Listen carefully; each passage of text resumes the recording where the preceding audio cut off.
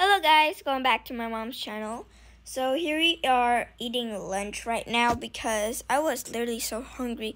I didn't had enough time to eat breakfast because we were in a hurry today because there was a bread exhibition and then my dad's company like joined so he had to go there and check on what's happening. So yeah.